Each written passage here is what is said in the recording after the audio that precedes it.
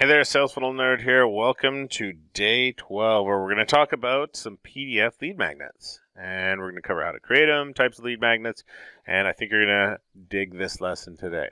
So let's jump right into it as far as how to create. I'm going to jump over to a document here and kind of show you that. But first, let's just get you thinking about some types of lead magnets that you can use in your business here. Now, as far as PDF, it's because it's the most accessible document format. I think it stands for portable document format, actually. Uh, PDFs, you can read them on computers, you can read them on phones. Um, it's just better than sending somebody a text document or a Word document. We want to send them these types of things as PDF. Now, I like to try and keep them. It depends. If it's some type of free report, well, then it's as many pages as it is. Um, other than that, I usually go for brevity and have some type of cheat sheet, fast action guide, and keep it to one page here. But those are some types of lead magnets. So the first one some uh, is some type of quiz that people get, right? Now, you say you've got it set up so that they hit your landing page, uh, they fill in some options on this quiz, and then you send them, you email a PDF version of this quiz, and it's got some results on it. And in order for them to see the advanced or more, you know, the deluxe version of the results, and it's got a link over to your offer, your sales page, something like that. Um, so another one is some type of cheat sheet, something that condenses a whole bunch of steps down, puts it onto one sheet for them. Uh, I'm a big fan of cheat sheets and creating these types of things.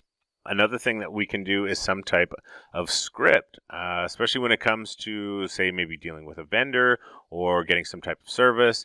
Uh, a pre done script for people is a good type of lead magnet.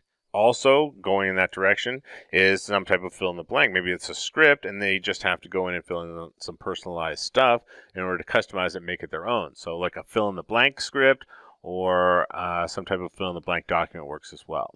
Now, the last one is some type of here. This kind of plays off people's you know human nature and ego and vanity and that type of thing, and some type of personal assessment that they download and fill out to get more information or results about themselves. Right.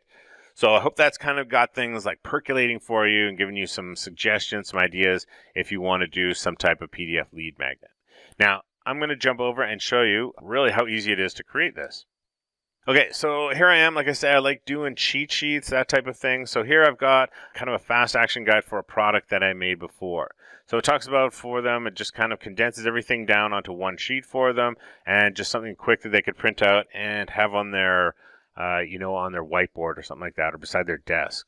Uh, simple and easy to access. So once you're done, once this thing's done and I'm ready to go, there's two things I want to do. The first thing is that I want to hit save and make sure I've got it saved as its default Word copy. The next thing I want to do is go to File and then Save As.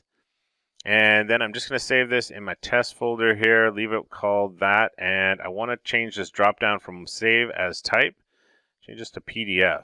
I want to make sure that Open File after publishing is checked so I can check it out right away. That's it. All I do is hit Save. Bing, bang, boom. This is going to bring me over. So now I'm inside my Adobe Reader. So I know now that I've got a PDF because this is my PDF reader. And then from here, you see, I've got it. It's all on one page, ready to go. That's it. Done. I've got a PDF.